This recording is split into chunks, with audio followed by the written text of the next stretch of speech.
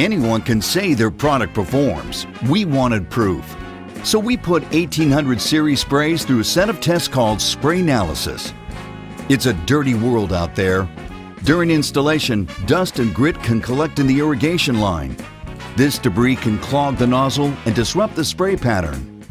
For the sudden sand influx test, we added grit to the line and turned on the water. 95% of Rain Bird sprays showed no pattern disruption, but up to 20% of competitive sprays surrendered to the grit. With Rain Bird, you won't have to worry about plugged nozzles. That means fewer profit-draining callbacks and more time to build your business. Installation isn't the only time dirt can get into a system. As spray heads settle, they can pull harsh grit into the stem and body that can block nozzles and lead to stick-ups. To test this, Rain Bird and competitive sprays were installed in sandy below-grade conditions and turned on and off 150 times. 90% of Rain Bird sprays performed without a hiccup. Meanwhile, a third of competitor 1 sprays and half of competitor 2 sprays clogged completely.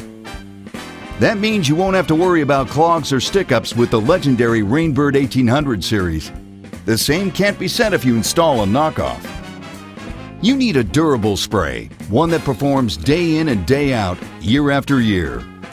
Known as the life cycle test, Rain Bird and competitive sprays were turned on and off until they kicked the bucket. The competitive sprays threw in the towel after a little more than 11,000 cycles. Meanwhile, Rain Bird sprays lasted nearly twice as long. It all comes back to superior engineering. The nozzle, the rugged co-molded wiper seal on the 1800 series, the patented triple blade wiper seal on the RD 1800 series. Both wiper seals form a tight lock to keep water in and grit out.